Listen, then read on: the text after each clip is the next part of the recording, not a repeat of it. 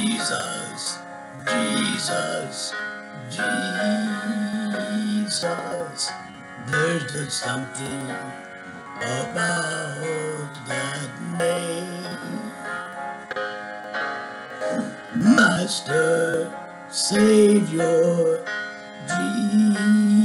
Jesus, like the fragrance after the Jesus, Jesus, Jesus, let all heaven and earth proclaim.